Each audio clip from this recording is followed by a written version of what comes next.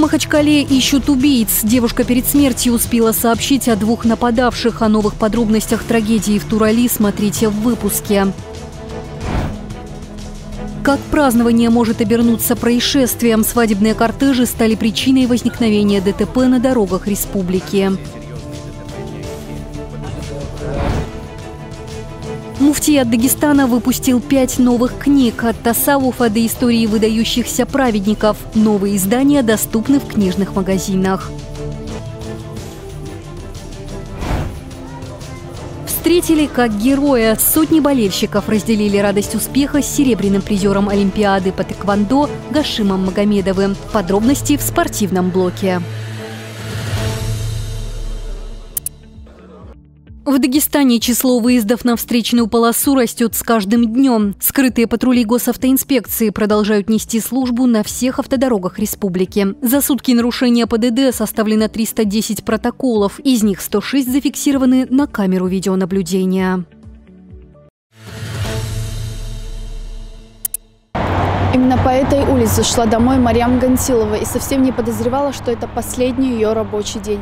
По предварительной информации, именно здесь девушка получила ножевое ранение, но нашла в себе силы пройти до конца улицы. Тело бездыханной девушки нашли именно там.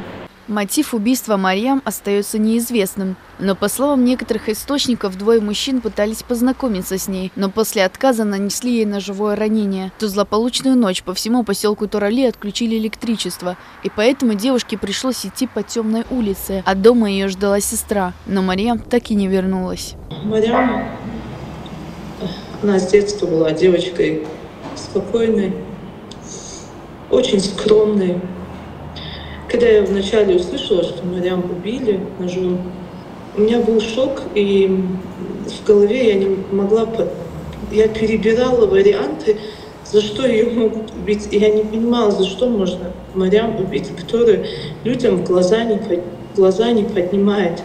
Когда омывали ее, то, что я видела, у нее было проникающее ранение, и были следы э, на руках, были следы ее вот борьбы, то есть э, изрезаны были руки, видно было, что она сопротивлялась.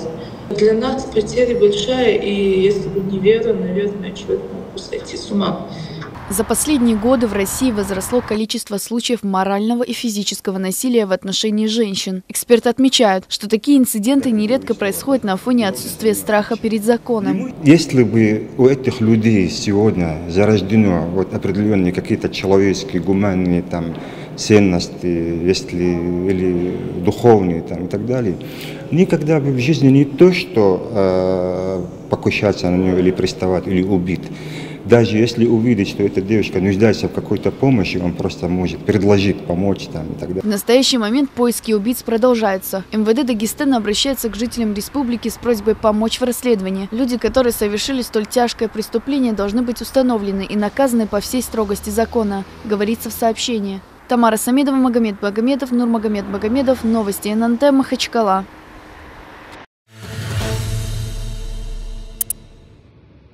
Жители поселка Мамиткала жалуются на неудобства после расширения дороги и установки бетонных ограждений. По их словам, в результате этих работ поселок оказался разделен на две части, а количество пешеходных переходов и выездов было сокращено. И для доступа к детским садам и школам нужно объезжать по полтора километра, а обращения в районную администрацию не дали ощутимых результатов, отмечают местные жители.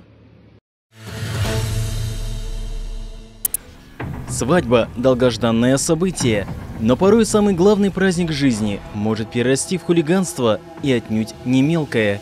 Сегодня нередки случаи, когда именно свадебные кортежи становятся причиной возникновения ДТП и беспорядков на дорогах. Празднующие этот день находятся в хорошем настроении, но зачастую, выйдя на дорогу, они не думают о настроении других.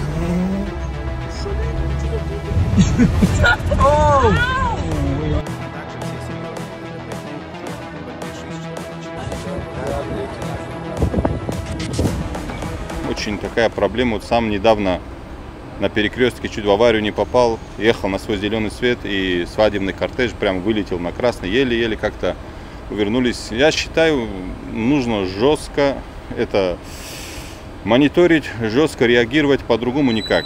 Наши люди я не знаю, более такие темпераментные, горячие, может из-за этого такое вождение, но проблема дорог это у нас это отдельная история. А ситуация на дорогах в республике и так плачевная. Более тысячи ДТП за последние 8 месяцев. По статистике, мы теряем в год около 300 жизней, и всему виною несоблюдение ПДД. Выезды на встречную – одна из самых частых роковых ошибок наших водителей. В 195 таких автоавариях погиб 71 и ранено 373 человека.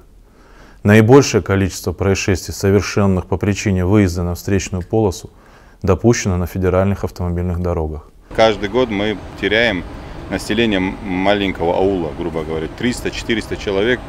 И больше всего погибают именно молодые ребята, перспективные ребята – Автомобиль не просто роскошь, это дар от Всевышнего, за который его обладателю нести ответственность. Садясь за руль, мы должны помнить, что обязаны ездить правильно, опасаясь причинить вред кому-либо, отмечают богословы. Машина – это средство передвижения, а не монстр на колесах. Э, конечно, он полностью ответственен э, за свою жизнь, находясь за этим автомобилем, за тех людей, которые э, рядом с ним находятся. Даже, например, шариат ему не дозволяет, чтобы он садился за неисправный автомобиль. Даже вот таком. И, конечно же, человек, который сел за руль, он должен соблюдать правила дорожного движения, Почему? Потому что от этого и его здоровье, и здоровье тех людей, которые находятся а, в других автомобилях, на дорогах, пешеходы, все от него это зависит. Любое веселье – это не повод, чтобы забыть все нормы приличия, в том числе на дороге. К тому же любая, казалось бы, безобидная шалость во время вождения может обернуться большой трагедией. Нет ни единой причины, позволяющей нам забыть о ПДД на дорогах. Вождение транспорта – это именно тот случай, когда правила для того, чтобы их соблюдали. Иначе мы можем нанести вред как себе, так и окружающим. И число печальной статистики ДТП станет еще больше. Абдулла Алиев Магомед Магомедов, Дауд Гасанов, телеканал ННТ, Махачкала. В Астраханской области прошло шоу КВН, в котором приняли участие команды из разных городов страны, а именно из Астрахани, Волгограда и Махачкалы. Все боролись за победу, и несмотря на сложность игры, Дагестан занял второе почетное место. Это произошло на главной сцене шоу, где соревновались все участники. За прошедшую неделю отдел науки при Муфтияте Дагестана выпустил пять новых книг. Два труда по науке Тасауф. Они повествуют о методах очищения сердца от духовных недугов. Книга о намазе – сборник поучительных историй из жизни выдающихся шейхов Южного Дагестана, а также заключительная часть сборника фетв. В данный сборник тоже вошли вопросы, э, касающиеся, соответственно, и основ мусульманской религии, там, намаз, пост и так далее. Имеется в виду такие вопросы, которые э, не были затронуты в предыдущих частях, первых трех частях. А, помимо этого, э, в книге разбираются вопросы, связанные с торгово-финансовыми отношениями, бракоразводный процесс, имущественные отношения, связанные, вопросы, связанные с наследством и так далее. Новые издания уже доступны в книжных магазинах. Отметим, что отдел науки при Муфтияте работает вот уже 9 лет. За это время специалистам удалось выпустить в свет более 100 книг по исламскому вероучению.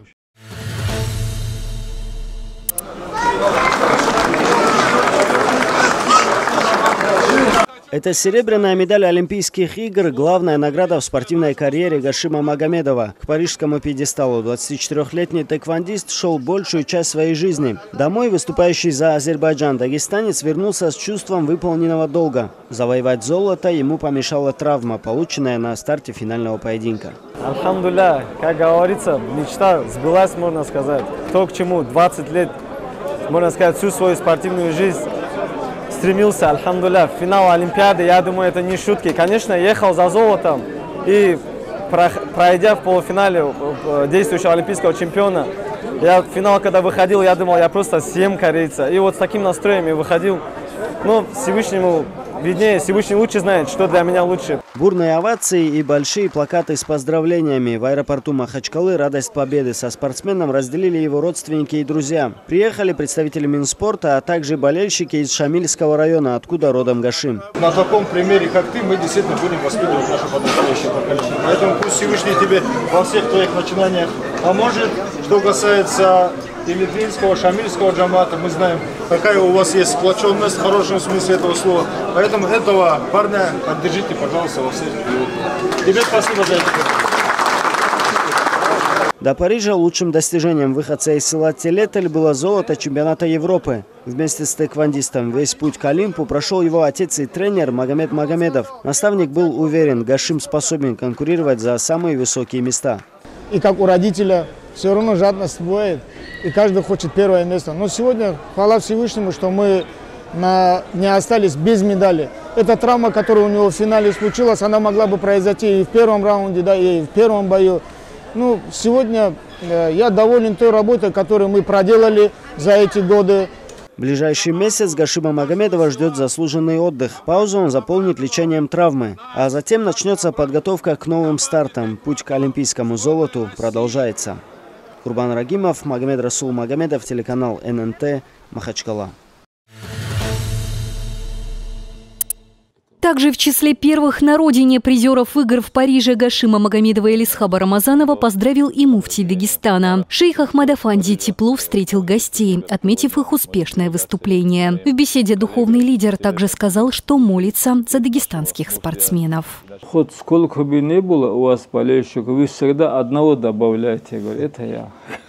Я же говорю, вот, есть олимпийский чемпион, есть духовный чемпион. Мы сегодня дуа сделаем, чтобы след, до следующей Олимпиады, чтобы нам, нашим спортсменам, Всевышний дорогу открыл. Потому что они так трудятся часами над самой и вдруг не разрешают им. Это им очень больно.